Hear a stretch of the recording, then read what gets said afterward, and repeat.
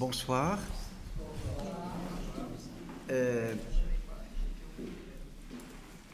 j'ai intitulé cet euh, entretien de ce soir, euh, d'une façon peut-être un peu aventureuse, le projet de Dieu sur le monde créé. Hein.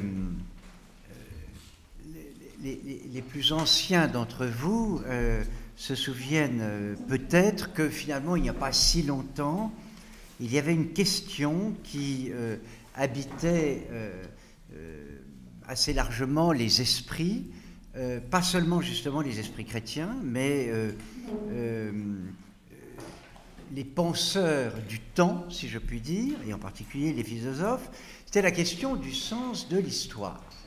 Hein.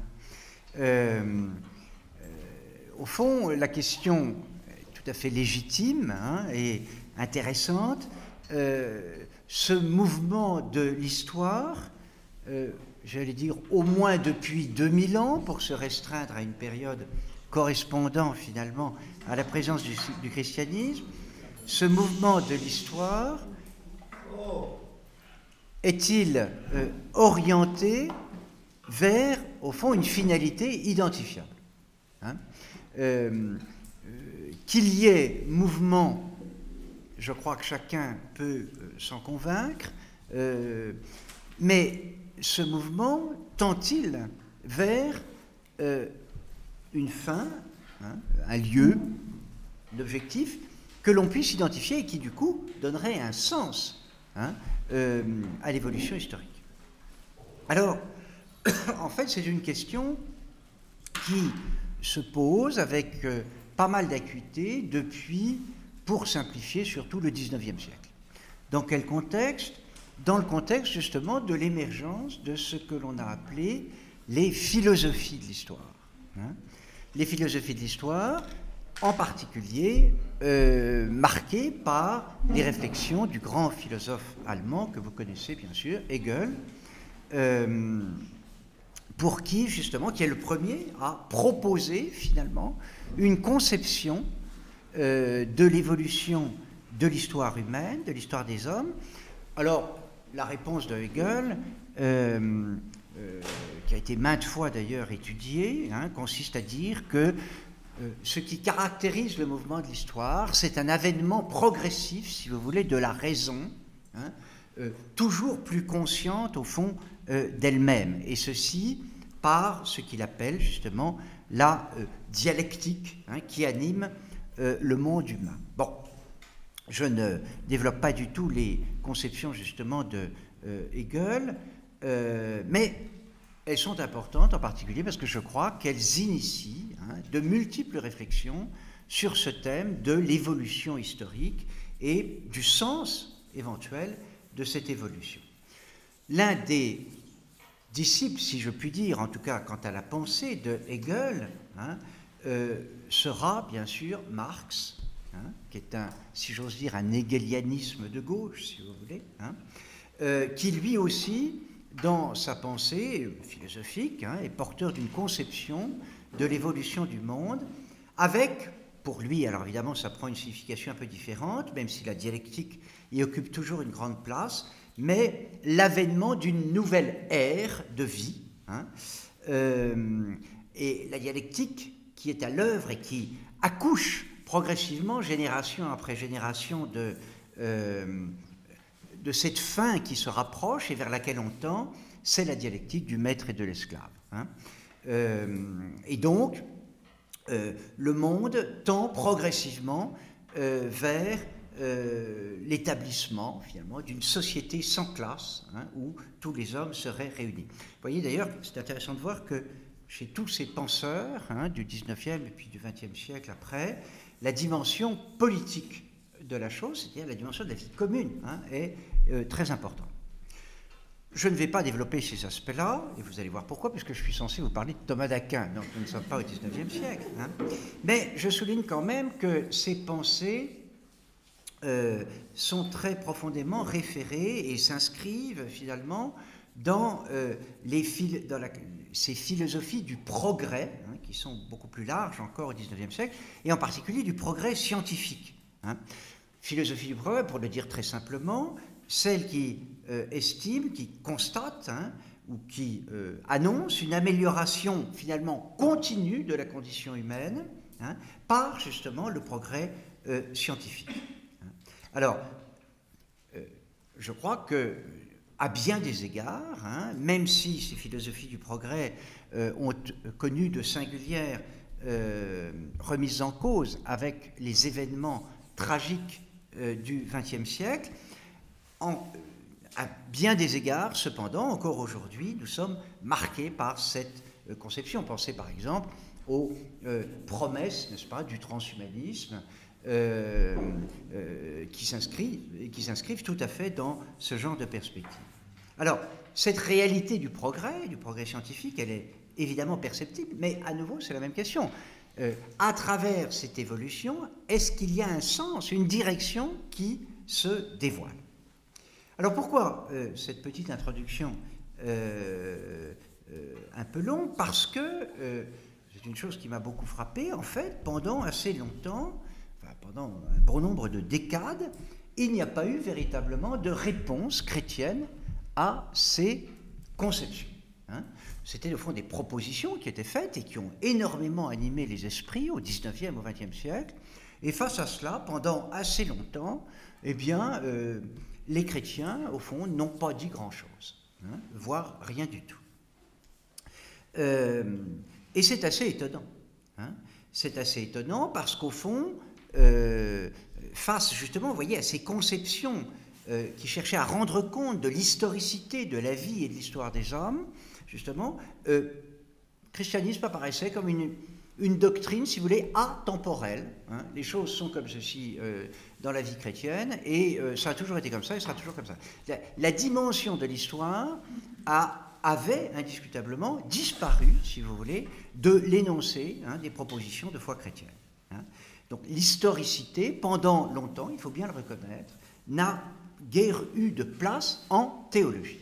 Hein, euh, or, justement, il a bien fallu quand même, avec le temps, esquisser des réponses à ces propositions philosophiques, qui étaient d'ailleurs toutes, qui avaient comme point commun, euh, même si on peut discuter la question à propos de Hegel, mais enfin, d'être largement des philosophies athées, ou en tout cas qui laissaient...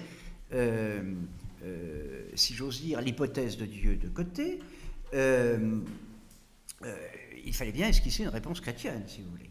Et de fait, ça s'est fait progressivement à partir, grosso modo, de la moitié, de la, moitié du XXe siècle. Hein. comment cela? Eh bien, certains auteurs sont allés puiser, si vous voulez, dans le fond de la tradition chrétienne et ont découvert de précieuses indications, en tout cas, qui, évidemment, ne répondaient pas point par point aux questionnements contemporains, mais qui éclairaient la question, justement, du sens de l'histoire. Hein. Vous voyez, les années 50 sont celles où un jeune abbé allemand assez brillant, euh, Joseph Ratzinger, écrit une thèse sur la théologie de l'histoire de Saint Bonaventure. Hein. C'est assez significatif que cet esprit brillant, universitaire, euh, choisissent ce sujet. Vous voyez, on va puiser chez le grand docteur médiéval euh, Bonaventure pour présenter justement la conception euh, qu'il avait des choses. C'est également une période où on redécouvre des auteurs antiques des pères de l'Église, qu'on n'avait jamais complètement oublié, mais que l'on redécouvre quant à leur contenu. Et je pense pour notre propos très spécialement à Saint-Irénée, Saint-Irénée de Lyon, n'est-ce pas hein, Donc, nous sommes euh, tout début de la période euh, patristique, n'est-ce pas euh, qui présente en fait dans son grand volume, son grand traité connu, Adversus Hereses, hein, contre les erreurs, en fait, une, il y a toute une théologie, si vous voulez, d'une économie divine, on retrouvera l'expression tout à l'heure, qui est bien présente, et il y a une conception justement de l'histoire du monde très clairement exprimé sur le fondement même euh, de euh, l'écriture. Hein. Euh, dans ce contexte, toujours au XXe siècle, ben, justement, un philosophe que vous connaissez et qui est très attaché à ces lieux, hein, Jacques Maritain, justement, va, lui, en philosophe, tenter d'esquisser une conception, pour le coup, une réponse, si vous voulez, chrétienne aux philosophies de l'histoire. Hein. il publiera un ouvrage en ce sens, pour une philosophie de l'histoire, qui présente hein, des hypothèses sur le sens de l'histoire. Alors, ce qui est intéressant justement chez Maritain, c'est que même si sa recherche est philosophique, hein, elle s'inscrit comme toujours chez lui un peu plus largement aussi dans une perspective euh, euh, qui prend en compte, en considération, la révélation, n'est-ce pas Et donc la possibilité d'un regard théologique aussi sur les choses. Euh, et c'est dans ce contexte, si vous voulez, que progressivement, hein, on en est venu, si vous voulez, à l'école hein, des auteurs anciens, hein, euh, en particulier des pères de l'Église, mais également de docteurs médiévaux, j'ai cité Saint Bonaventure, de bah, redécouvrir en fait une conception euh, de l'histoire qui, est bien présente chez ces grands auteurs. Et euh, nous avons cité Bonaventure, l'un des grands docteurs du XIIIe siècle. Il en va de même, justement, avec Thomas d'Aquin. Euh, c'est ce que je voudrais évoquer avec vous ce soir. Mais ceci pour vous dire, voyez, au terme de cette introduction peut-être un peu longue, que euh, c'est une redécouverte finalement tardive, hein, euh, je crois pour ma part, cependant tout à fait fructueuse. Je constate que dans cette lumière, dans ces redécouvertes hein, des conceptions de l'histoire, des conceptions théologiques de l'histoire, hein, eh bien, l'enseignement de l'Église lui-même, le magistère de l'Église, c'est contemporain, hein, c'est tout à fait euh, enrichi. Hein. Euh, euh, le catéchisme de l'Église catholique, hein, qui est l'expression, si vous voulez, une exposé du magistère ordinaire de l'Église sur les données de la foi et de la vie chrétienne, et qui remonte donc aux années 90 du siècle dernier, donc ce n'est pas si vieux, donne une place considérable et même structurante, si vous voulez, à cette expression du dessein de Dieu. Hein, c'est la formule qu'il utilise à tout bout de champ, comme un leitmotiv, hein, pour présenter justement une conception organique, organisée, de, euh, du donné révélé, si vous voulez, et une compréhension de la vie chrétienne à l'intérieur justement d'une grande fresque de l'agir de Dieu dans l'histoire. Alors, c'est ce que je voudrais évoquer avec vous ce soir, donc en me référant euh, plus spécialement, bien sûr, puisque c'est le thème de ces conférences, à euh, saint Thomas d'Aquin. Euh, mais je vous préviens tout de suite que je ne vais pas vous présenter tel ou tel traité de saint Thomas hein, qui serait passé inaperçu, d'ailleurs il n'y en a pas, parce que justement il n'y a aucun texte d'ensemble sur cette question chez Thomas. Vous voyez alors, c'est à la fois ce qui est difficile, mais aussi ce qui est intéressant quand on le travaille, c'est que on découvre qu'il y a une conception très organisée de, l'histoire du monde, du monde hein, tout simplement, euh, dans son ensemble, euh, mais alors elle est éparpillée dans l'ensemble de ses œuvres. Hein.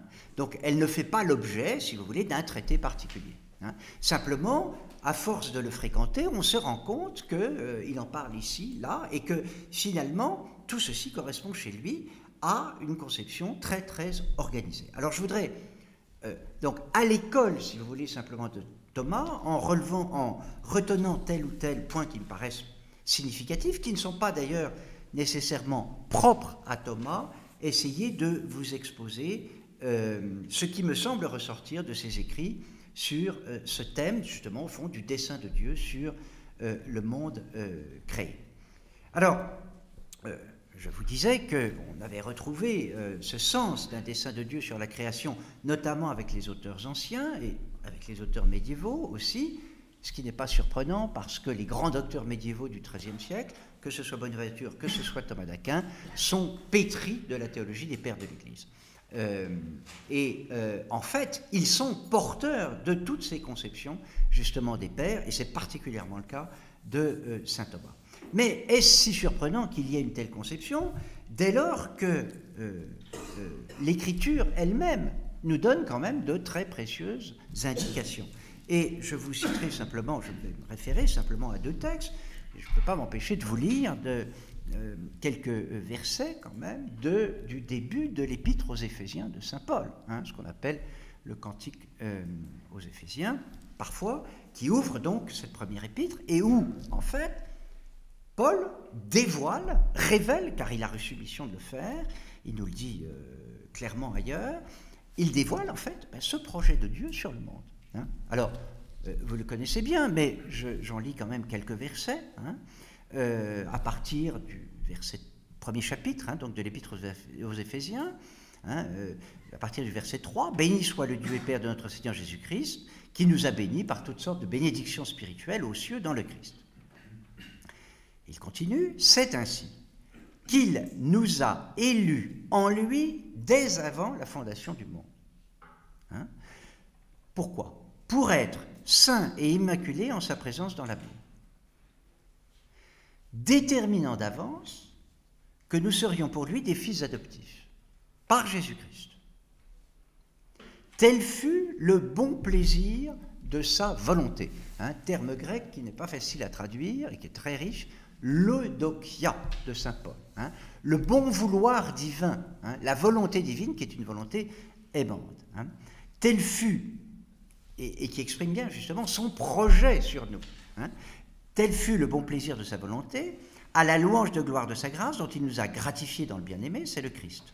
En lui, nous trouvons la rédemption par son sang, la rémission des fautes, selon la richesse de sa grâce qu'il nous a prodiguée en toute sagesse et intelligence. Et il ajoute, il nous a fait connaître le mystère de sa volonté, ce dessein bienveillant, voilà à nouveau l'eudokia, hein, ce dessein bienveillant, qu'il avait formé en lui, le Christ, par avance, pour le réaliser quand les temps seraient accomplis. Et quel est ce dessein bienveillant? Ramener toutes choses sous un seul chef, le Christ, les êtres célestes, c'est-à-dire les anges, comme les terrestres. J'arrête là la lecture. Donc, il y a quand même là euh, l'expression nette, si on veut bien y prêter attention, d'un dessein originel de Dieu qui va se réaliser, nous en parlerons ultimement dans le Christ, mais qui est un dessein euh, d'adoption filiale, de nous faire participer à la vie divine, hein, euh, ce qui se réalise par, tout simplement, le don de la grâce. Alors, qu'est-ce que c'est que la grâce? C'est Saint Pierre qui nous le fait comprendre dans sa deuxième épître, hein, premier chapitre, versets 3 et 4, hein, où il nous dit qu'il nous a rendu, Dieu le Père, participants de sa nature divine. Hein. Alors, ceci pour introduire le, premier point que je voudrais développer et qui, à mon sens, est extrêmement fort et présent chez Saint Thomas. Vous allez voir, c'est très simple, mais encore faut-il s'en convaincre. Euh, c'est que euh, sur le fondement de ces paroles, si vous voulez, euh, il ressort que le monde humain, donc le monde créé, hein, est fait pour être habité par la vie divine. C'est ce qui ressort directement, si vous voulez, de l'écriture. Hein. Euh, alors, petit préalable, que je ne développerai pas, hein, ceci repose également sur une conception hiérarchisée de l'univers. Alors, on le trouve chez tous les grands auteurs, on le trouve chez Thomas, mais comme chez tous les pères de l'Église, et on le trouve d'ailleurs chez les philosophes grecs de la même façon. En ce sens que le livre de la Genèse, vous le savez, nous présente différents degrés de vie. Hein. Enfin, et même dans la création, il y a le monde physique, mais il y a le monde végétal, le monde animal et finalement le monde humain. Euh, toute la conception euh, euh, chrétienne des choses hein, affirme que toute la création est au service et en vue de l'ordre humain des choses. Hein. Donc les humains, je ne parle pas ce soir des anges, hein, pour simplifier, euh, euh, sont le sommet de l'ordre créé. Hein. Euh, pourquoi? Parce qu'ils sont les seuls parmi les créatures à être des êtres dotés de raison, des êtres rationnels, capables, comme on le dit souvent, de connaître et d'aimer Dieu et plus encore, si je puis dire, de participer à ce qu'est Dieu. Hein. Euh, c'est le thème si développé chez quantité d'auteurs, et en particulier chez Thomas, de l'image de Dieu déposée en l'homme, hein, de l'imago Dei, mais qu'il faut comprendre pas seulement d'un point de vue strictement statique, comme une capacité de connaître ou d'aimer Dieu, hein, mais euh, euh, comme une capacité de le rejoindre en posant des actes qui sont eux-mêmes animés par la participation à la vie divine qui nous est communiquée par la grâce. Euh, euh, pour ceux qui sont un peu familiers de saint Thomas ou qui voudraient aller voir, hein, il y a une question dans la prima pars de la somme théologique, question 93, article 4, qui précise bien ces différentes ressemblances entre les créatures et Dieu. Et le sommet de ces ressemblances, eh c'est pour les hommes une ressemblance dans l'ordre de la grâce, pour les hommes qui sont sur terre, et ultimement la ressemblance la plus haute dans l'ordre de la gloire, qui est la plénitude, évidemment, de la vie de la grâce. Bien. Alors, euh, euh, quelques éléments, quelques commentaires euh, à ce sujet. Voyez? La conception de Thomas, qui est omniprésente, hein, si vous voulez, chez lui, c'est que la grâce, hein, donc cette participation à la vie divine, si vous voulez, n'est pas une espèce de plus par rapport à l'ordre humain ou à l'ordre créé des choses. Hein. Encore une fois, pour Thomas, la nature humaine, que nous partageons jusqu'à preuve du contraire, même si elle est individuée de façon distincte en chacun de nous, cette nature est faite pour être habitée par la grâce. Voyez euh, euh,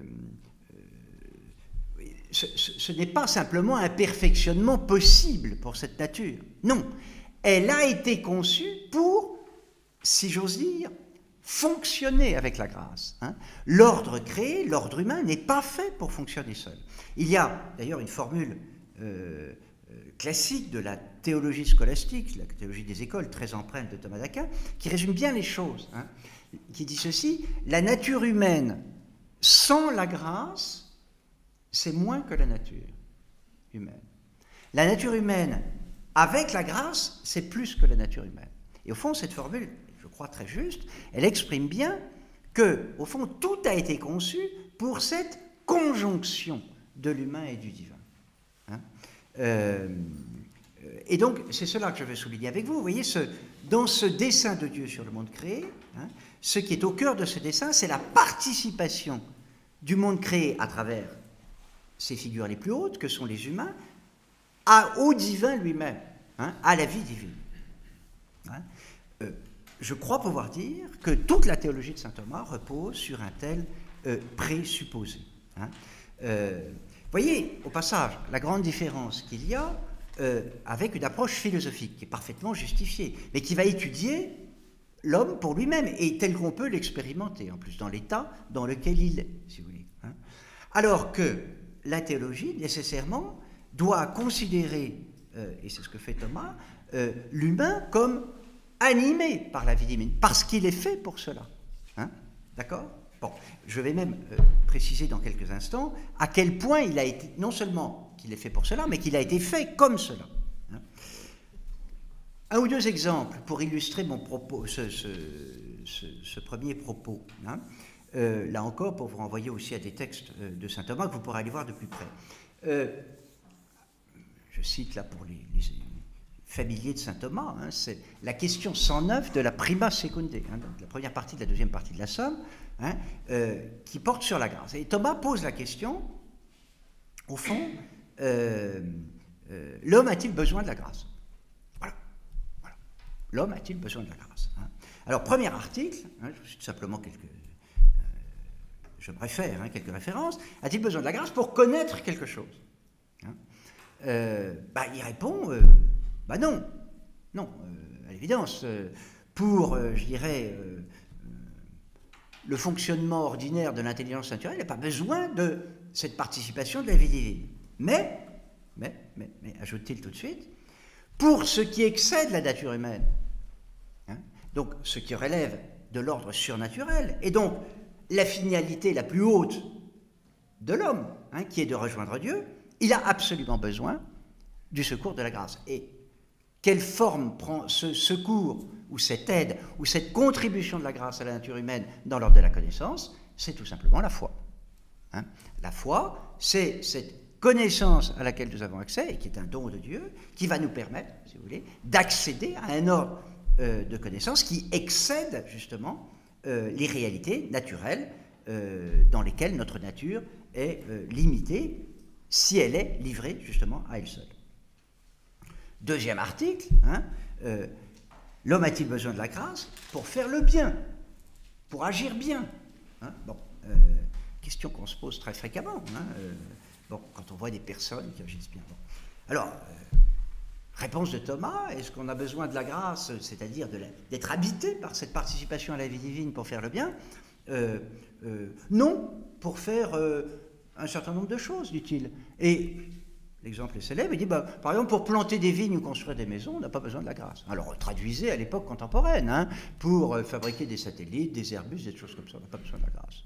Voilà, non. Hein. Euh, euh, mais, mais, mais, mais, ajoute-t-il, pour faire le bien qui correspond à la vie divine qui nous habite, on a absolument besoin de la grâce. Et il ajoute même, et pour faire tout le bien qui est euh, euh, à la mesure de notre nature humaine, hein, nous avons aussi besoin d'être aidés parce que, livrés à nous-mêmes, limités, nous ne pourrions même pas, dans l'ordre naturel, faire tout le bien qui relève euh, de l'ordre naturel. Donc, c'est un petit exemple hein, que je prends. Enfin, évidemment, cette articulation de la nature et de la grâce est tout à fait centrale, mais qui illustre hein, ce fait que chez Thomas, encore une fois, jamais, si vous voulez, il ne veut concevoir l'ordre créé, l'ordre humain des choses, séparément de la vie divine qui a vocation euh, à l'habiter. Alors, pourquoi nous avons, euh, avons-nous un peu de, mal à euh, nous pénétrer de cela, si vous voulez hein Alors, on peut le comprendre cérébralement, mais constate bien souvent que euh, on n'en tient pas forcément compte euh, euh, à tout instant. Pourquoi? Eh bien parce que lorsque nous réfléchissons à l'ordre de la création tel que nous le connaissons, hein, et la création des hommes, enfin le, monde humain si vous voulez, eh bien nous réfléchissons à partir d'une situation de rupture, de séparation précisément entre l'ordre de la nature et l'ordre de la grâce. Hein, pourquoi? Bah, Pour une raison très simple, parce que nous naissons, quand nous sommes nés, vous, moi, ça j'en suis absolument certain, aucun de nous n'était habité par la grâce. Hein, voilà. Hein. Euh, il y a une parole du psaume qui dit euh, que ma mère n'aime pas du tout. dans le péché, ma mère m'a conçu. Alors ça ne veut pas dire que la conception soit un péché, non pas du tout. Ça veut dire que, aussi sainte qu'elle soit, eh bien, elle n'a pas conçu un enfant habité par la grâce. Bon, voilà. Ni vous, ni moi. Hein. Il n'y a pas d'équivoque là-dessus. Donc, vous voyez, nous partons d'une situation de séparation. Donc nous sommes, et c'est très compréhensible, hein, l'intelligence humaine, la raison humaine, euh, s'interrogeant sur l'humain, sur l'ordre humain des choses, bah, considère l'humain dans l'état dans lequel il est. Hein. Et euh, donc, spontanément, elle ne réfléchit pas sur l'humain habité par la grâce. Euh, si on réfléchit ensuite en chrétien, on va constater que la grâce nous est redonnée, je, vais y venir, hein, par des moyens euh, qui s'appellent les sacrements, mais spontanément, au départ, on est dans une situation de séparation. Pourquoi je dis ça hein? C'est que, et je crois que c'est très présent chez Thomas, hein, de façon sous-jacente, il ne le dira pas dans ces termes, bien entendu, c'est que, quelle est la conséquence de ce que je viens de vous dire? C'est que le monde humain, livré à lui-même, dans l'état dans lequel il est, mais sans la grâce, est un monde qui marche à cloche-pied, pour parler simplement. Hein. Parce qu'il est privé, précisément, de ce pourquoi il a été fait dès l'origine, la participation à la vie divine. Alors, marcher, essayer de courir à cloche-pied, vous savez très bien ce qui va vous arriver. Hein. On finit par se casser la figure assez vite, ou en tout cas, et on n'avance pas très bien, hein, en plus. Bon, on se rend bien compte qu'on n'est pas fait pour ça. Alors, justement, dans cette lumière, deuxième volet que je voudrais évoquer avec vous ce soir, ceci nous met sur la voie d'une de la conception qu'il y a chez Thomas, et alors là, qui je crois lui est, alors, propre, ce n'est pas le mot, euh, mais qui est particulièrement élaborée chez lui. Euh, j'en dirai quelques mots. Une conception extrêmement structurée chez lui du destin du monde, si vous voulez. Hein encore une fois, nous, nous sommes portés à raisonner dans l'état actuel des choses comme si, comme si tout avait toujours été comme cela. Hein. Euh, comme si l'homme avait toujours été privé de la grâce. Or, ce n'est pas le cas. Et euh, ce qui m'a mis euh, sur la voie, c'est de voir apparaître chez saint Thomas, sans arrêt, très très souvent, la référence à l'ordre originel, c'est-à-dire ce qui prévalait lors de la création et ce qui avait vocation à perdurer. C'est une référence, alors même qu'il parle du monde dans lequel nous sommes, hein, qui n'est pas le monde originel. Nous avons été chassés du paradis et on s'en rend bien compte, n'est-ce pas? Euh, Eh bien, cependant, saint Thomas s'y réfère sans arrêt. Il s'y réfère, encore une fois, à titre de comparaison pour mieux comprendre la situation actuelle. Alors, que nous dit-il? Là encore, euh, il n'est pas, euh, unique en son genre. Hein, bien des pères de l'Église ont développé ça. Hein, eh bien, souligne que à l'origine, justement, l'homme, comprenez évidemment l'homme et la femme, comme d'ailleurs la Genèse nous le fait comprendre de façon explicite, hein, l'homme a été créé doté justement de la grâce. Hein. Dans le dessein originel créateur de Dieu sur le monde humain, eh bien l'humain était habité par cette participation à la vie divine. Hein. Euh, et cette participation à la, à la vie divine, d'ailleurs à ce que nous avons lu euh, sur l'épître aux Éphésiens, euh, euh, fait de ceux qui participent à cette vie des enfants de Dieu. Hein? la grâce, participation à la vie divine, est une grâce, dira-t-on plus tard, de filiation adoptive. Hein? elle nous fait enfants du Père. Euh, et donc, à l'origine, c'est ainsi que Dieu a voulu créer les hommes, et qu'il les a créés, effectivement. Hein. Euh, évidemment, dans un état dans lequel, au départ, aucune place n'était donnée au péché, c'est-à-dire au refus de Dieu. Hein. Et en plus, une grâce d'immortalité était associée à cet état euh, originel. Vous voyez, c'est ça qui est très net chez Thomas, c'est qu'il a bien perçu, et il nous aide à comprendre, que, euh, à l'origine, justement, la nature humaine et la nature divine participée avançaient de concert, justement, hein, dans cette conjonction fondamentale que Dieu veut pour nous. Hein.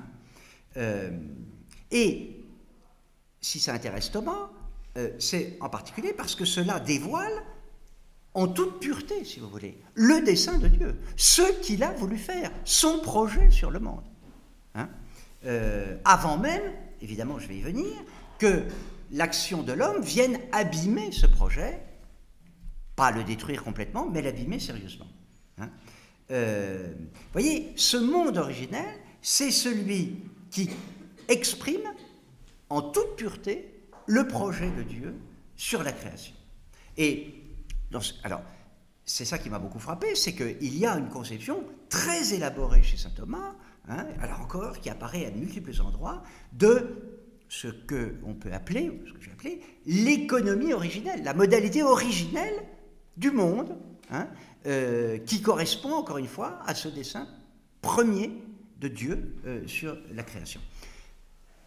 Les êtres humains avaient vocation euh, à cheminer, encore d'ailleurs, mais habités par la grâce, hein, euh, un temps sans doute fort long, puisqu'il y avait une grâce d'immortalité, jusqu'à leur entrée dans la gloire. Hein, euh, euh, mais dans un monde qui avait vocation, qui avait vocation au départ à demeurer indemne de toute faute, hein, de tout péché.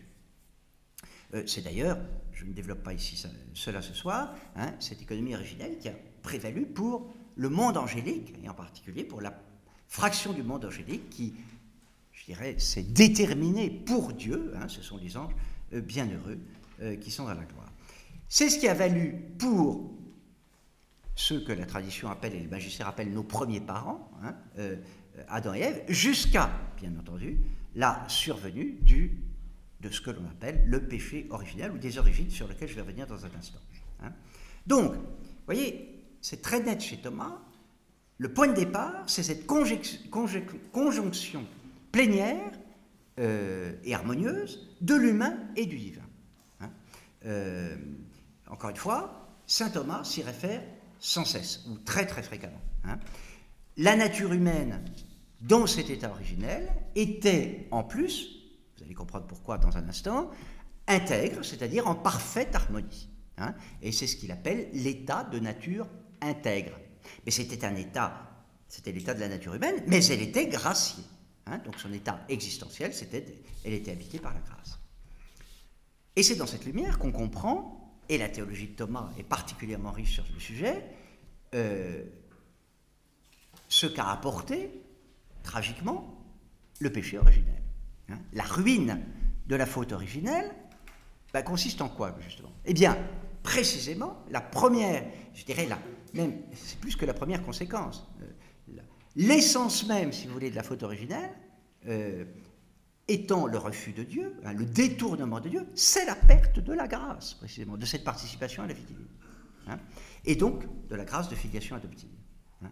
Euh, donc, euh, vous voyez, la conjonction première originelle qui est au cœur du dessin est brisée, justement, par l'agir libre de l'homme et en l'espèce de nos premiers parents.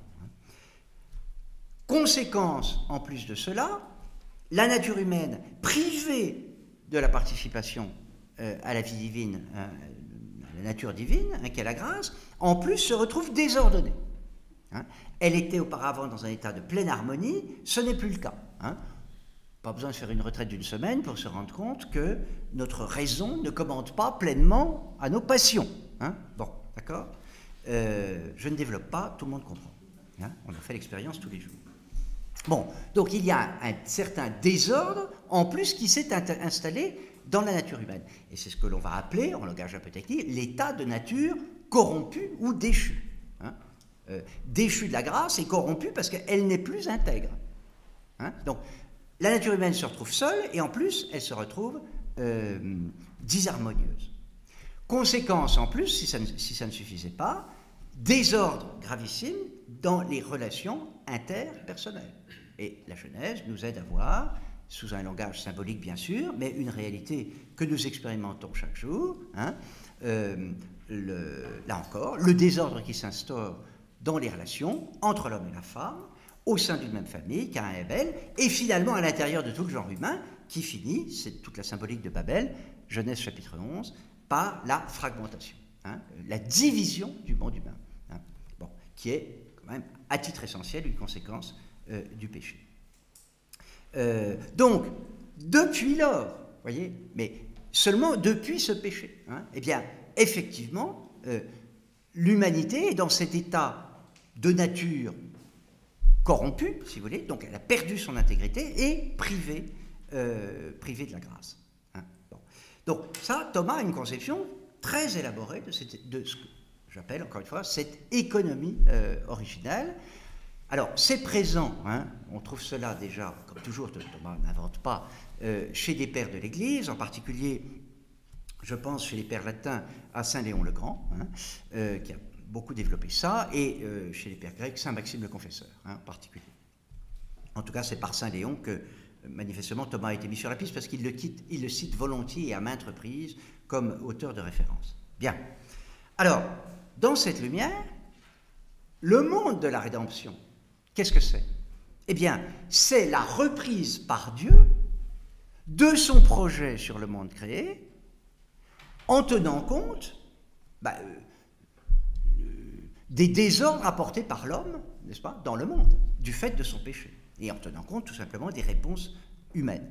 Hein. Vous voyez, dès la survenue de cette faute originelle, au fond de cette ruine, pas totale, mais quand même grave, de cette économie des origines, hein, eh bien, Dieu entreprend de reprendre son projet, son dessein, qui est de nous faire cheminer, encore une fois, animés par cette participation à sa propre vie, ici-bas, jusqu'à notre entrée dans la gloire, et c'est la vie éternelle qui, elle, euh, est tout à fait inchangée, si je puis dire, hein, c'est la vision de Dieu, l'objectif ultime sur lequel Dieu ne, revient pas.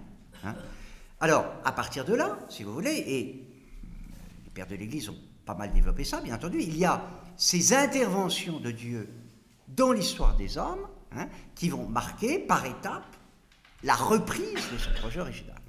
Alors, vous le savez, bien entendu, la grande préparation, hein, c'est ben, c'est la constitution du peuple de Dieu de la première alliance, et avec cette première alliance qui va être passée, hein, euh, Dieu se crée un peuple, passe une alliance avec lui, et ce peuple, vous le savez, a vocation à donner naissance euh, au Messie, qui va apporter justement aux hommes, redonner aux hommes précisément ce qu'ils ont perdu. Hein. Le but de euh, l'incarnation et de l'œuvre accomplie par le Christ sur terre, hein, dont nous célébrons en ce moment la mémoire la plus haute, la mémoire de son mystère pascal, c'est précisément de redonner aux hommes la vie qu'ils ont perdue. Hein, de redonner cette vie divine, cette participation à la vie divine que le péché a fait perdre. Hein. alors vous savez ça, bien entendu, euh, euh, fort bien. Hein, euh, pensez à cette, sur le fondement d'écriture, comment, du côté transpercé du Christ, a enjailli l'eau et le sang, et toute la tradition a toujours voulu voir l'effusion de l'esprit, justement, de la vie divine, du côté même du Christ, enfin offert aux hommes, Hein, et ça va être ensuite évidemment la Pentecôte qui va être l'extension à l'univers entier de ce don euh, de l'Esprit. Donc, euh, euh, alors quelle est la situation de l'humain, du coup, dans ces conditions? Parce que là, pour le coup, c'est notre condition, si vous voulez. Eh bien, la nature humaine est toujours dans, dans cet état de déchu, si vous voulez. La disharmonie de la nature humaine demeure, mais par l'œuvre du Christ, si vous voulez, la participation à la vie divine nous est redonnée, et très spécialement, donc par les sacrements. Quel est le sens du baptême, sinon que de redonner précisément à une créature cette participation à la vie divine, encore une fois, pour laquelle elle a été créée, hein, et que elle a perdu du fait de la faute hein, de nos premiers parents. Ça, toute la théologie du péché originel, dans le détail de laquelle je n'entrerai pas ce soir. Hein. Donc, très spécialement, le baptême et ensuite les sacrements dans lesquels nous sommes renouvelés et entretenus dans la foi, et très spécialement l'Eucharistie, visent à restaurer, vous voyez, cette conjonction de l'humain et du divin qui est encore une fois au cœur du projet de Dieu sur euh, le monde euh, créé. Alors, euh, évidemment, ce qui est un peu complexe, et ce que Thomas, avec bien d'autres auteurs, scrute énormément, mais qu'il exprime de façon très claire, c'est qu'il nous aide à comprendre, au fond, ce qui est restauré et ce qui ne l'est pas. Car, au cas où vous ne vous en seriez pas rendu compte, mais le matin de Pâques, nous n'avons pas été replacés, retransplantés au paradis terrestre. Ah oui, Dieu aurait pu. Hein. et s'il nous, avait demandé notre avis, nous n'aurions pas hésité un instant, hein, bien entendu. Eh bien, de fait, il n'a pas fait ainsi. Il n'a pas fait ainsi. Notre nature demeure abîmée, mais cependant, elle est restaurée, j'allais dire, en ce sens qu'elle reçoit de Dieu cette participation à la vie divine, c'est-à-dire ce qu'elle avait perdu de plus précieux, si je puis dire. Hein bon. Euh, mais ce qui n'est pas restauré, c'est qu'elle, notre nature, demeure disharmonieuse. Hein euh, ben, on le constate bien. Hein, euh, que ce soit un petit enfant euh, déjà un peu grand ou, euh, euh, un adulte hein, qui est baptisé, eh bien, bien les inclinations des passions et au péché n'ont pas disparu pour autant. Hein. quelquefois, elles se manifestent de façon très, vive et très rapide. Bon, ben voilà. Donc, il faut bien constater que tout en ayant recouvré la grâce, ben, la nature humaine n'est pas remise dans un état intègre.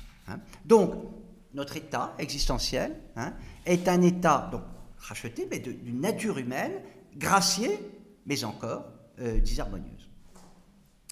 Et euh, je disais euh, rapidement, il y a quelques instants, que l'une des conséquences, et non la moindre, du péché originel avait été la fragmentation, la séparation des hommes les uns avec les autres, la fragmentation du monde humain, hein, toutes les divisions qui peuvent s'instaurer de mille façons entre les hommes, eh bien, la grâce et le, projet de Dieu dans son œuvre, pour le coup, de rédemption, hein, consiste également à refaire l'unité du genre humain, mais pas sous le mode originel, hein, d'une famille humaine qui ne connaîtrait aucune division dans l'ordre naturel, ce que nous expérimentons euh, sans cesse, hein, ce qui n'a pas disparu encore une fois le matin de Pâques, mais par la formation de cette communauté humaine hein, qui a vocation à unir et à recevoir tous les hommes, qui s'appelle l'Église et qui est le corps du Christ, justement. C'est un projet invraisemblable dans son corps, à vue humaine, hein,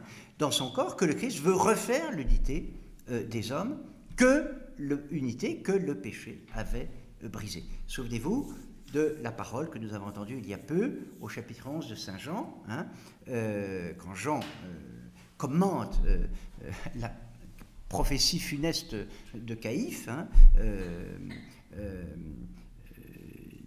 il, valait mieux, il est devenu donner sa vie pour son peuple, mais, et pas seulement pour son peuple, mais pour rassembler dans l'unité tous les enfants de Dieu dispersés. Hein.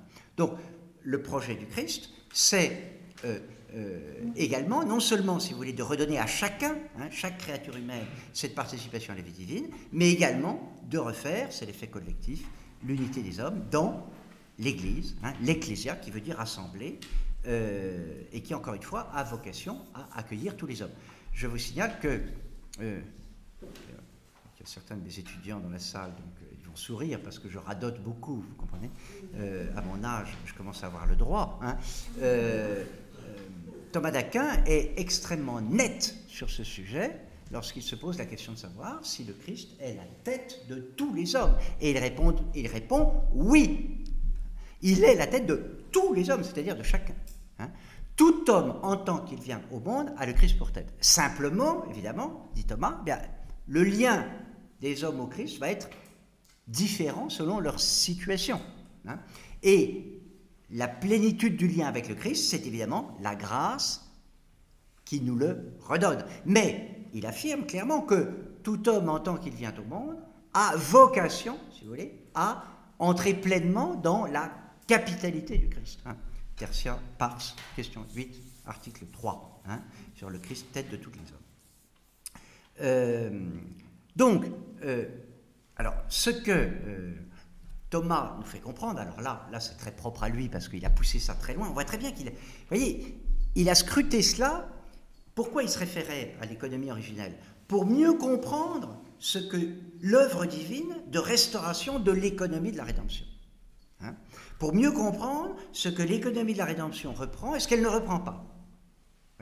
Ce qui conduit à affirmer, c'est ce que je suggère, de, je suggère de formuler les choses de cette façon-là, ce n'est pas le vocabulaire de Thomas, mais je crois que je ne le trahis pas, qu'il y a vraiment un dessein invariant de Dieu, qui n'a jamais changé.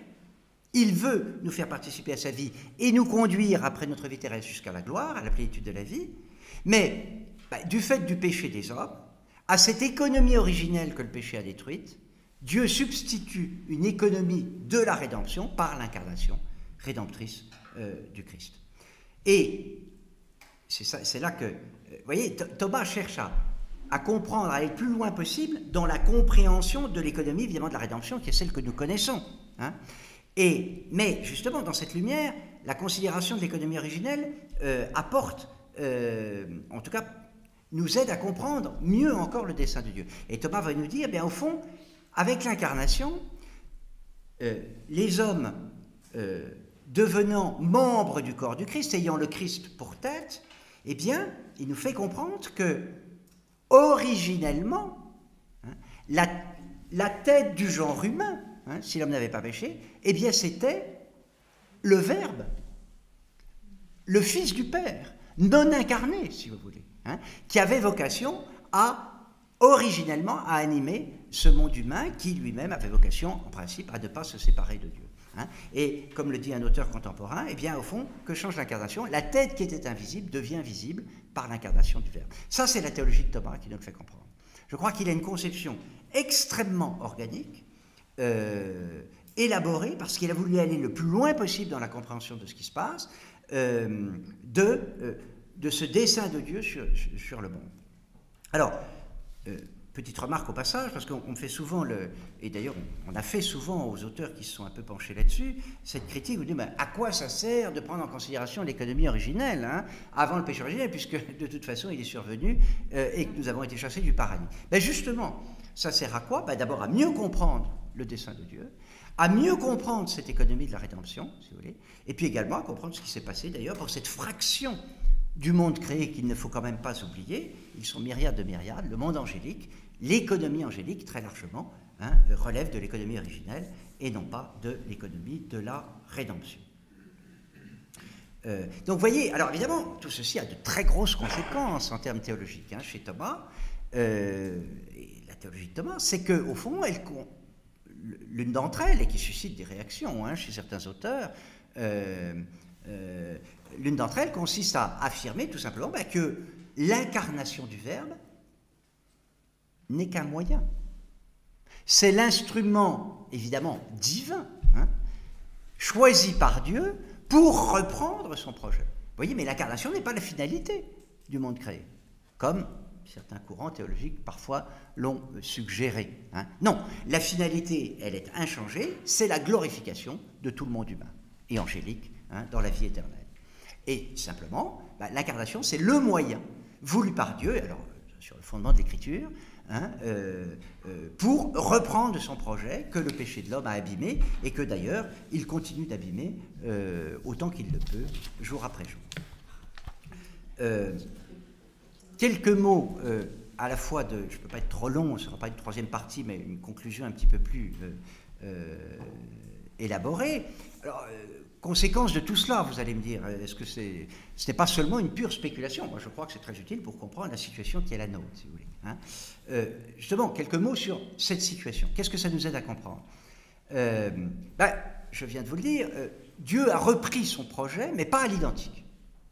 Pas à l'identique. Et le fait justement que nous continuions, que les hommes continuent de naître avec une nature désharmonieuse, eh pose d'emblée, et nous le savons bien, l'exigence au fond d'un combat. Hein. L'homme vit le combat au sein de sa propre vie, n'est-ce pas? Euh, Avec le concours de la grâce, s'il l'a reçu, en tout cas, hein, pas toutes les questions immenses hein, que tout cela euh, euh, engendre, mais avec le, concours de la grâce, mais l'enjeu, c'est que ben, cette vie divine communiquée triomphe de tout ce qui lui fait obstacle, hein, et en particulier de ce qu'on appelle tout simplement le péché. Ben, c'est ce qu'on appelle le combat spirituel, fondamentalement. Alors, la lutte contre ce qui veut se détourner de Dieu, hein, sans cesse, euh, et puis également combat spirituel en ce sens que la grâce a vocation à, pénétrer tout l'humain, si vous voulez, hein, et pas seulement un, petit secteur de notre vie. Hein. Euh, j'ai coutume de dire un peu violemment, mais enfin les paroissiens me connaissent, euh, exprès pour choquer un peu, on n'est pas chrétien le dimanche à 10h30 jusqu'à 11h30 au midi. Non. toute la vie humaine précisément a vocation à être innervé, si vous voulez, par cette vie divine que nous avons, euh, que nous avons reçue.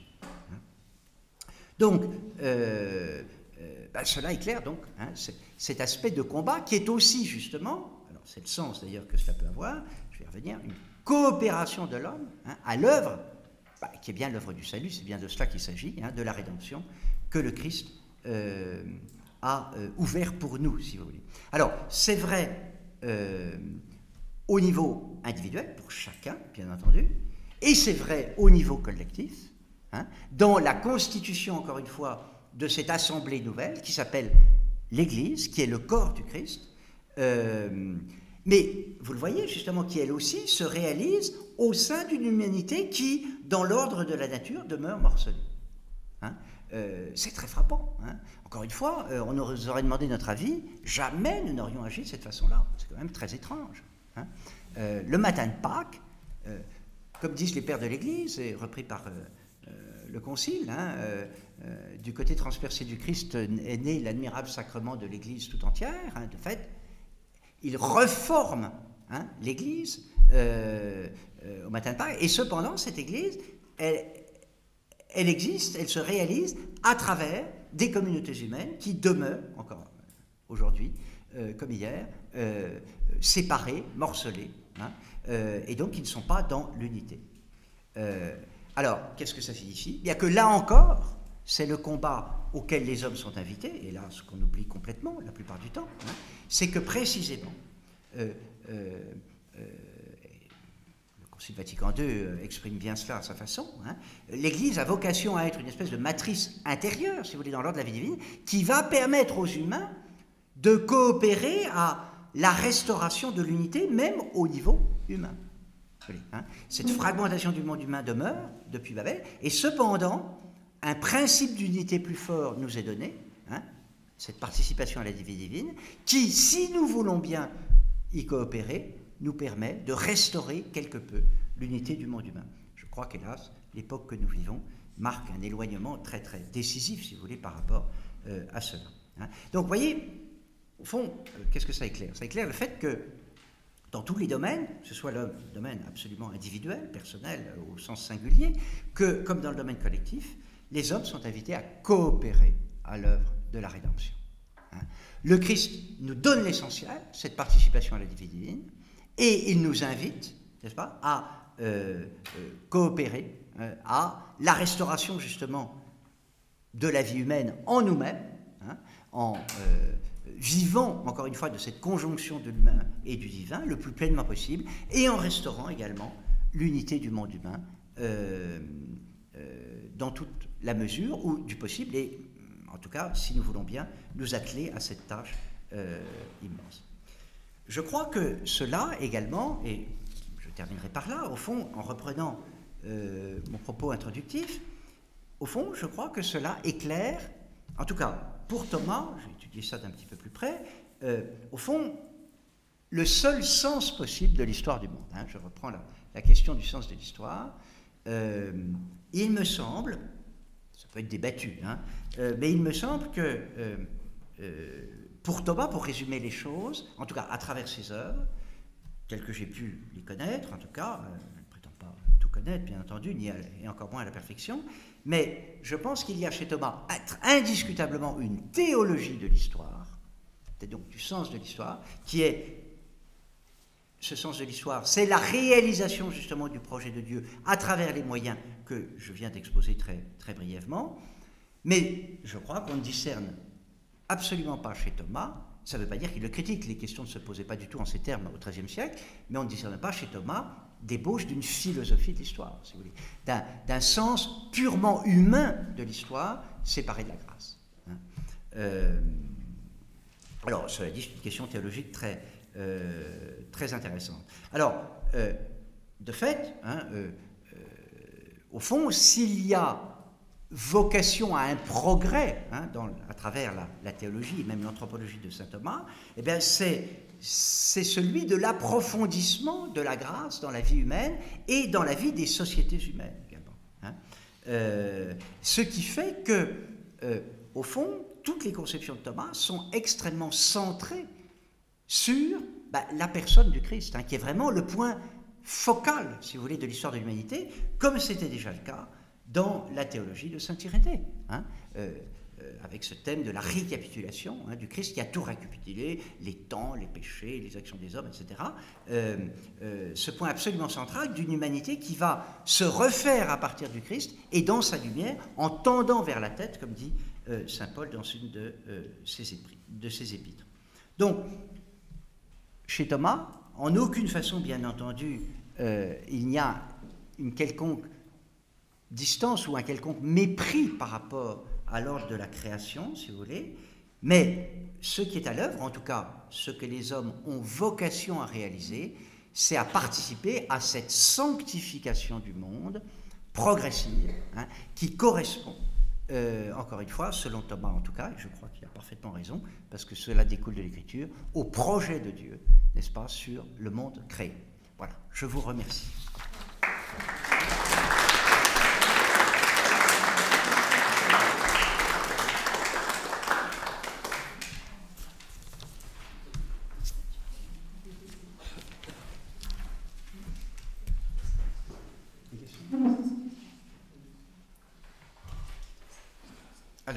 Qu'il y a un temps de, traditionnel de questions. Si...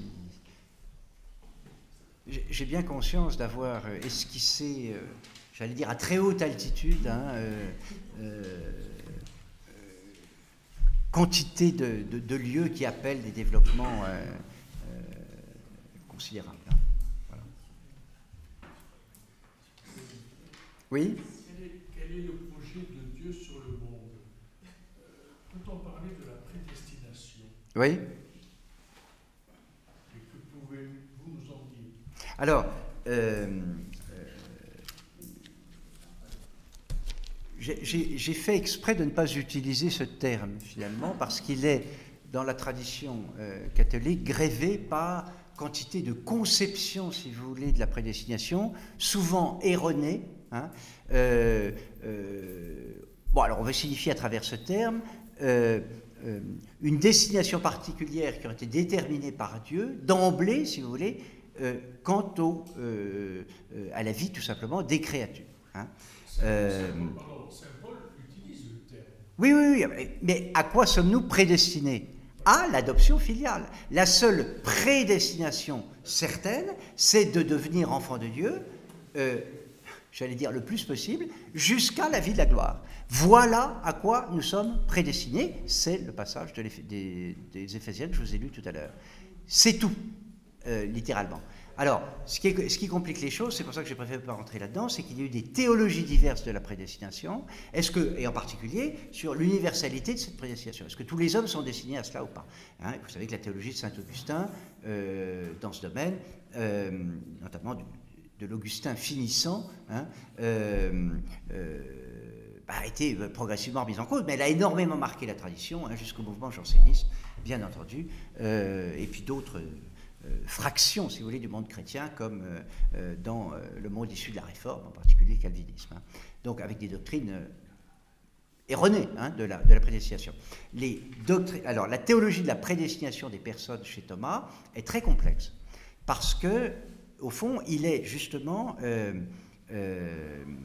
comment dire, tiraillé, si je puis dire, entre deux, entre deux mouvements.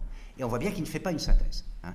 Il y a la ligne, la tradition augustinienne, euh, d'une conception assez sombre, finalement, euh, euh, bah, pour résumer, hein, Saint-Augustin, sa conception de la prédestination, c'est le Titanic. Hein. Donc, le navire sombre, bon, quelques canottes arrivent à sauver quelques passagers, mais enfin, l'essentiel est perdu. Hein. c'est la massa damnata. Bon, voilà. alors, il y a cette ligne chez Thomas, indiscutablement, parce que parce que il est d'une révérence inouïe à l'égard d'Augustin, bien entendu. Mais on voit bien qu'avec d'autres présupposés, et notamment ce que j'ai énoncé très rapidement ce soir, il y a une ligne beaucoup plus lumineuse, justement, euh, d'une prédestination universelle, justement, à la, vie, à la vie de la gloire. Et il ne fait pas la synthèse. Et en raison, je pense, de la prégnance très très forte de la théologie augustinienne. Hein. Et il faudra beaucoup de temps pour que la tradition catholique se purifie n'est-ce pas, de euh, ce mauvais levain, pour le coup augustinien, en matière de prédestination. Et au fond, pour ce qui est du magistère de l'Église, il faudra attendre Vatican II, n'est-ce pas, pour, euh, je crois, mettre un point final aux condamnations des euh, euh, doctrines restrictives de la prédestination. Monsieur. Comment tenir ensemble, s'il vous plaît, le, sacrifice du Christ, qui est un sacrifice unique, parfait, auquel rien ne manque, d'un côté, et d'autre part, cette coopération des hommes à la rédemption Est-ce qu'il y a quelque chose Il y a quelque chose de, pour moi, de, de paradoxal, voilà, qui est compliqué et que j'aimerais bien que vous, que vous éclairiez? N'avons-nous pas évoqué cela au dernier cours mardi C'était même une invitation à la méditation. Voilà. La méditation, je l'ai commencée, mais pour l'instant, il me reste encore quelques semaines. elle n'a pas abouti, donc je profite de... Alors, je, euh, bon, évidemment, vous soulevez une très grande question, mais passionnante. Je vais vous répondre pour essayer de répondre rapidement. Ben, je vais reprendre ce grand texte que j'ai déjà évoqué avec vous, mais je le fais avec tous. Euh, cette parole de Paul. Vous dites, rien ne manque à ce que le Christ a accompli. Et cependant, Saint Paul dit aux Colossiens, chapitre 1, verset 24, j'achève ce qui manque dans ma chair à la passion du Christ. Alors, euh, alors euh, il manque quelque chose ou pas hein Alors, ben, qu'est-ce qu'on fait dans ces cas-là? Ben, On se précipite sur le commentaire de Thomas d'Aquin de l'Épître aux Colossiens et et, vous voyez que Thomas se pose exactement les questions que nous posons, il va nous aider à y répondre. Euh, et, euh, mais on voit bien qu'il se casse la tête. comment? Alors il manque quelque chose à la passion du Christ C'est impossible. Et d'ailleurs, euh, toute la tradition dit le contraire, enfin toute l'écriture dit le contraire. Il a suffisamment satisfait pour sauver tous les hommes de ce monde, et même, dit-il, ceux d'autres mondes s'ils existent. Hein. Bon, Thomas s'amuse quelquefois. Il fait pas beaucoup d'humour, mais quelquefois il y en a. bon. et cependant, Saint Paul nous dit j'achève dans ma chair ce qui manque à la passion du Christ. Alors saint Thomas dit, ben, qu'est-ce qui pouvait bien manquer à la passion du Christ? Ben, il nous fait comprendre, et là encore c'est toute sa théologie de la rédemption, qui encore une fois ne lui est pas propre, nous fait comprendre que ben, le Christ a vécu cette offrande plénière de lui-même jusqu'à de sa vie, hein, jusqu'à sa mort, euh, au Père, dans sa nature humaine. Hein, euh, et il l'a vécu dans son humanité à lui. Oui. oui, simplement, comme je le disais rapidement, le Christ n'est pas seulement, si j'ose dire, une personne singulière, hein, fût-ce le Verbe ayant assumé une nature humaine. Il est en lui-même la tête de tous les hommes. Et donc, il n'a souffert sa passion, sa mort, sa résurrection, dans son humanité à lui, il ne l'a pas souffert, euh, soufferte dans nos humanités. Et c'est ce que c'est le commentaire que fait, et c'est ce que dit euh, Thomas d'Aquin en commentant euh, le, le, verset de Saint Paul. Il lui manquait d'avoir souffert sa passion en toi, Paul. Et cela, chacun de nous peut se le dire. Donc voilà en ce sens, si le Christ a satisfait pour tous les hommes, il nous invite à entrer nous-mêmes dans cette participation à l'œuvre rédemptrice en le suivant jusqu'à justement son mystère pascal, ce que dit très clairement le Concile Vatican II, en particulier au numéro 22 de la Constitution Gaudium et Spes, hein, disant que tous les hommes, et pas seulement les chrétiens, sont invités par Dieu à s'unir au mystère pascal du Christ. Hein, et c'est donc, euh, voilà. Donc, euh, voilà, nous sommes au cœur. Alors, euh, il reste quelque chose évidemment de mystérieux, vous voyez. Mais le Christ a fait en sorte que tous nous pouvons participer à cela.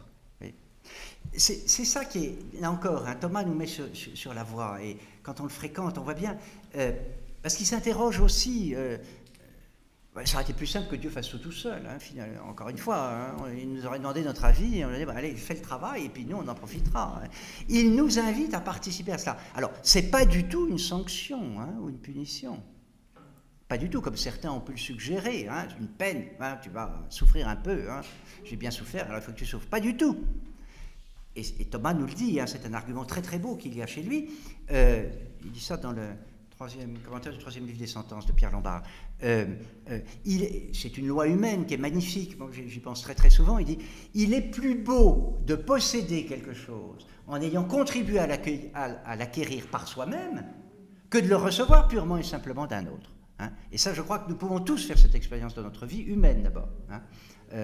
Il, est plus beau et plus grand de, de posséder quelque chose en ayant contribué à l'acquérir Hein, plutôt que euh, pourquoi est-on plus attaché à la maison qu'on a construite soi-même plutôt que celle dont on hérite sans aucun mérite? Bon, hein, bon, euh, c'est pas mon cas, hein, rassurez-vous. Euh, ni l'un ni l'autre d'ailleurs, j'ai pas construit de maison et bon, eh bien, il nous dit ça pour nous faire comprendre que c'est par, encore une fois, par amour euh, par excès de bienveillance, que dans son dessein bienveillant, il plaît à Dieu de nous associer à l'œuvre de la rédemption. Vous voyez euh, Sachant qu'il nous a donné tout ce qu'il fallait pour pouvoir le faire. Parce qu'il a suffisamment satisfait pour tous les hommes. Bon, ceci dit, c'est une très grosse question que vous avez soulevée, mais elle est passionnante. Hein. Euh, mais je crois que Thomas nous, éclaire hein, quant à la réponse. Voilà, ça fait partie justement des lumières qu'il nous donne. Je crois que c'est très important. Hein, la coopération. Et vous savez que, euh, justement, hein, cette, association, cette coopération à l'œuvre rédemptrice hein, est un des thèmes très, très forts de la théologie contemporaine. Euh, alors, à travers la Vierge Marie, bien entendu. qu'il faudra comprendre ça. D'abord, quelle est celle qui a vécu à la perfection, pour le coup, comme, comme créature de cela? C'est la Vierge. Euh, là encore, bien des pères de l'Église l'ont perçu, et des, docteurs, il y a des très beaux développements de, Jean-Paul II sur le sujet. À la croix, au Golgotha, on vient de le célébrer. Hein. Euh, elle apporte, qu'est-ce qu'elle apporte, la Vierge? D'abord, en demeurant dans la foi, la coopération de la nature humaine. Le Christ, il est quand même une personne divine. La Vierge est une pure créature. Elle s'associe à l'offrande de son Fils et elle dit oui à cela, jusque-là. Et la Vierge est par la même figure de l'Église et de tous les membres de l'Église, et elle nous montre le chemin que nous avons à suivre.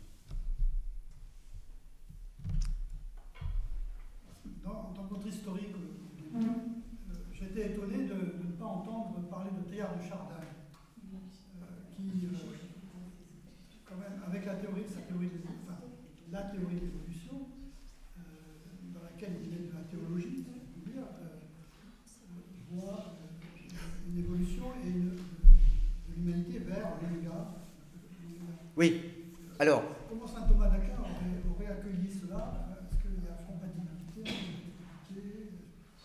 Bah, d'abord, euh, deux choses. D'abord, je ne suis pas un spécialiste de Teilhard, hein, mais effectivement, on aurait pu l'évoquer. Ce, qu'il y a, ce qui est particulier chez Teilhard, c'est qu'il élabore, si vous voulez, une théologie, hein, euh, cette convergence du monde vers le point oméga, hein, n'est-ce pas, que vous évoquez. Euh, pour le coup, comment dire, sans référence directe à l'écriture. c'est assez, assez, frappant, justement. c'est une œuvre propre, si vous voulez. alors, euh, qui est, j'allais dire, compatible et qui s'inscrit à, certains égards, hein, dans le sens justement. Alors, lui, ce qui le frappe, évidemment, euh, c'est un domaine que Thomas n'évoque pas du tout. Hein, c'est pour ça que euh, c'est l'évolution, justement des espèces, n'est-ce pas, et du monde créé. Alors, je crois qu'il n'y a pas du tout d'incompatibilité, hein, justement. Thomas n'est pas un adepte des, espèces fixes. Mais euh, évidemment, ce n'est pas du tout un domaine qu'il a, développé, si vous voulez. Hein. Euh, ce qui est, euh, comment dire, surprenant chez Teilhard de Chardin, si vous voulez, c'est l'espèce de rencontre entre le cosmique, si vous voulez, et l'ordre de la vie divine, si vous voulez. Hein. Et cela, comment dire, c'est difficile d'en rendre compte à partir de l'écriture, me semble-t-il je ne suis pas spécialiste de Teilhard.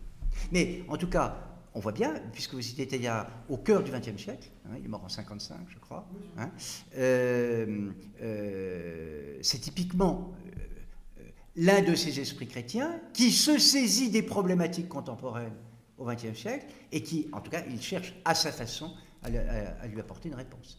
Hein.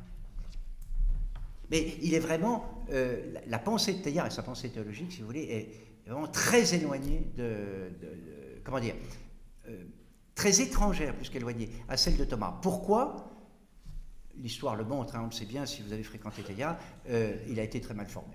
Hein. Il a eu une mauvaise formation, euh, il a eu une scolastique complètement figée, hein, qui est le meilleur moyen pour vous détourner de Thomas d'Aquin, évidemment.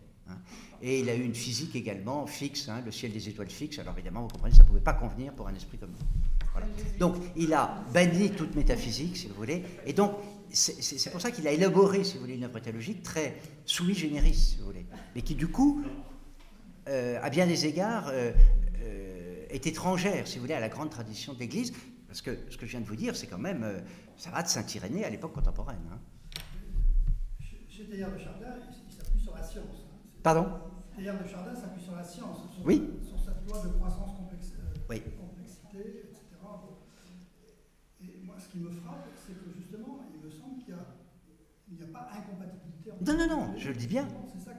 Je ne dis pas, pas du tout qu'il y a incompatibilité, simplement sur des approches très différentes. Et lui, justement, se fonde sur euh, une cosmologie et des connaissances scientifiques qui sont alors là complètement étrangères à celles de Thomas, hein, qu'il n'a pas.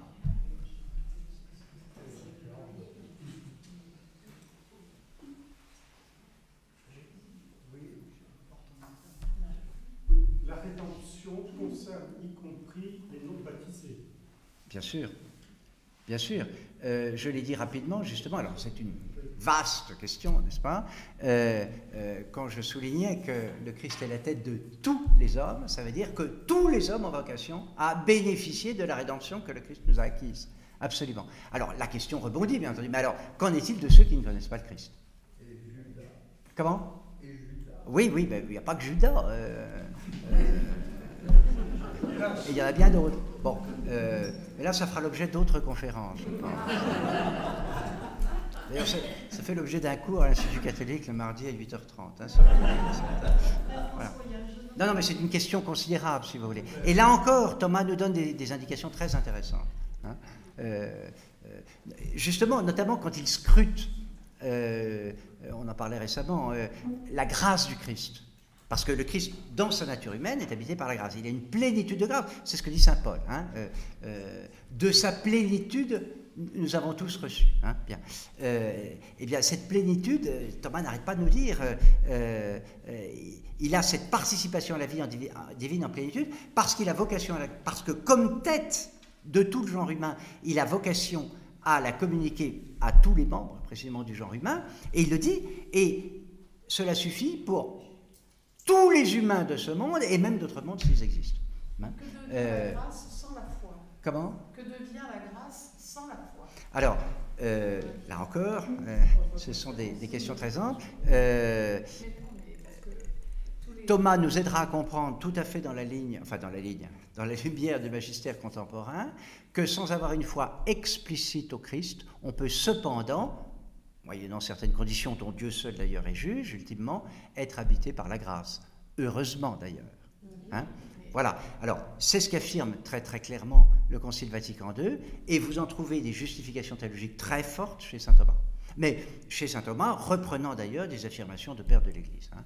Il y a tout un régime implicite de l'adhésion au Christ, c'est-à-dire non explicite, pour ceux tout simplement qui euh, n'ont pas accès à la connaissance du Christ et de l'Église. hein. Est-ce que, est que, est que le Christ va leur refuser cette participation à la vie? Eh bien, lisez le numéro 16 de la Constitution Lumen Gentium. Euh, voilà. Mais donc, une voyez, ben, évidemment, je comprends bien, c'est une question très actuelle et qui est, parfaitement légitime, euh, bien sûr. Euh, par, pourquoi? Parce qu'on a une conscience plus aiguë aujourd'hui de cette universalité de l'œuvre de la rédemption. Et donc on se dit, bah, très bien, pour les chrétiens, nous, nous avons connaissance, hum, cas un cas, de, des moyens, et, et nous vivons de ce que le Christ a voulu instituer, c'est-à-dire les sacrements, comme moyen ordinaire de communication de cette participation à la vie divine, mais qu'en est-il de ceux qui n'y participent pas Hein? Eh bien, euh, euh, là encore, euh, la théologie, en particulier la théologie de Thomas, nous permet d'esquisser des réponses à ces questions-là. Hein? D'ailleurs, je vais vous donner une réponse, un petit élément de réponse, simplement très simple et qui vous rejoint très directement. Euh, pourquoi priez-vous pour tous les hommes à chaque fois que vous participez à l'Eucharistie? Sinon, pour que la grâce soit communiquée à la multitude. Et c'est la formule de la consécration du sang, pour vous et pour la multitude. Commentaire de Thomas très explicite sur le sujet. Voilà. Donc la vie de l'Église coopère, euh, euh, est le moyen par lequel, si vous voulez, la grâce peut être communiquée même à ceux qui ne lui appartiennent pas. Voilà. Ben, là encore, ça appelle de grands développements.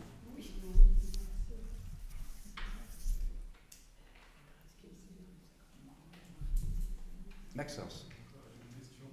Euh, Commençons par la première. ça concerne l'intérieur. Vous avez dit que la grâce excède la nature, la nature humaine. Oui Mais est-ce qu'on pourrait parler d'accomplissement ou bien est-ce qu'il y enfin, est-ce qu'il y a vraiment une, une termes C'est comme. Alors, précisons un tout petit peu. La grâce, c'est l'effet créé de l'habitation du Saint-Esprit, hein.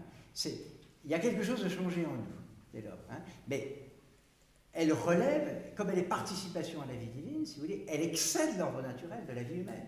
hein. Il y a bien la distinction entre le créé et l'incréé. Et ce qui est divin est de l'ordre incréé. D'accord? Or, justement, Dieu veut nous faire participer, et c'est son dessein, hein, et il le réalise par le Christ, à, à l'incréé. Et précisément, euh, ce qui est très frappant, et alors Thomas nous fait bien comprendre aussi, ce qui est fascinant, c'est que le moyen qu'il a choisi, le Christ, est précisément en sa personne la rencontre du créé et de l'incréé. La divinité est entrée dans l'humanité. L'infini est entré dans le fini. L'incréé, Dieu, est entré dans le créé. Pour nous redonner cette participation à l'incréé. Donc la distinction quand même entre le divin et l'humain est fondamentale. hein. Euh, il y a l'ordre de la création, l'ordre naturel au sens large, et puis il y a l'ordre divin. Mais Dieu veut la conjonction des deux. Sans confusion et séparation. Euh, je voulais savoir. euh, vous avez dit que euh, un homme qui n'a pas un bébé n'est- ne serait pas habité par la grâce. Mais pourquoi Ne pourrait-il pas Pourquoi? Ben Parce que ben, c'est ce, ce drame, précisément de la faute originelle, qui fait que la faute de nos premiers parents a contaminé tout le genre humain. À quel moment euh, où l'homme aurait-il d'une certaine manière accès à la grâce pour se rapprocher de Dieu? À, à quel moment? À quel moment enfin, l'homme, enfin, dans, sa, dans, sa, dans, sa, vie, Oui. aurait-il accès à la grâce pour se rapprocher de Dieu? Eh bien, la, la voie ordinaire instituée par le Christ, ce sont les sacrements. C'est pour ça que vous avez été baptisés. oui, oui, mais avant le baptême. Imaginons quelqu'un qui, qui- Comment? Avant le baptême. Ben, Il n'y a pas en tout cas cette habitation habituel, si vous voulez, de la grâce sanctifiante. Là encore, on débouche sur d'autres questions euh, euh, théologiques euh, immenses, mais que saint Thomas traite bien à sa façon. Mais voyez, vous voyez au passage hein, combien la théologie du péché originel, qui est si contestée hein, aujourd'hui comme ça fait déjà un moment, hein, mais est très, liée, très, relative également à la théologie du sacrement. pourquoi avons-nous été baptisés ben, pour recouvrer cette participation, cette filiation adoptive par la grâce que nous n'avions pas à notre naissance. Parce que c'est le péché originel qui l'a fait perdre. La question bondit. Comment se fait-il que. Alors, Thomas est fabuleux pour ça. Euh, euh, comment se fait-il que la faute commise par nos premiers parents ait un effet sur nous? Nous, on n'a rien demandé, après tout. On n'a pas demandé à être privé de la grâce à notre naissance. Eh bien, de fait, c'est le cas. Et alors là, vous voyez saint Thomas qui se casse la tête, là encore, et qui évacue toutes les explications qui ont précédé. Et qu'est-ce qu'il dit? Il dit, eh bien, pour essayer de comprendre comment la faute commise par nos premiers parents s'étend à tous leurs descendants, que nous sommes, eh bien, il faut considérer que toute l'humanité forme comme un seul homme en Adam. Toute l'humanité forme comme un seul homme en Adam. Donc, vous voyez, en fait, dès le départ, hein, le principe d'unité ici dans l'ordre de la nature en Adam, n'est-ce pas, qui fait que les fautes commises par Adam se répercutent sur toute l'espèce humaine. Là encore, on pourrait faire une conférence entière sur la théologie de saint Thomas du péché original, qui est pour moi une des plus éclairantes qui soit. Oui. Marche pas. C'est-à-dire Eh ben, il y en a un qui est baptisé, ça va pas baptiser tout le monde. Eh bien, exactement, ça marche pas dans l'autre sens. Voilà. Vous avez eu beau être baptisé, vos enfants ne sont pas nés graciés. Il a fallu les baptiser. Voilà. Alors pourquoi justement? C'est exactement ce que dit Saint Paul au chapitre 5 de l'Épître aux Romains. Hein? Par le péché d'un seul, la mort est entrée dans le monde. Hein. la, mort, euh, la mort à la grâce. Hein. voilà. Euh, par le sacrifice d'un seul, la vie est redonnée. Mais attention, elle est pardonnée de la même façon, justement, d'un coup, elle est donnée au cas par cas, personne après personne. Et c'est ça qui caractérise l'œuvre de la rédemption, c'est que c'est toujours par une rencontre personnelle, singulière de chacun avec Dieu. C'est ça qui est prodigieux. Prodigieux. Nous, on aurait voulu que, ben voilà, de Pâques, toute l'humanité est restaurée dans la grâce, ça y est, le tour est joué. Et enfin, à nouveau, les enfants qui sont conçus naissent dans la grâce. Non. Chaque fois, c'est une rencontre personnelle. Et c'est ce que nous faut comprendre les évangiles. À chaque fois, vous voyez, euh, Dieu n'œuvre pas en vrac. Nous, on aimerait bien ça, parce qu'on est, voilà, on est paresseux et puis c'est plus facile, ça va plus vite. C'est du cas par cas, à chaque fois. Et c'est jamais deux fois pareil. Rencontre unique, singulière de chacun avec le Christ. Fût-ce au dernier instant de sa vie C'est encore une autre question.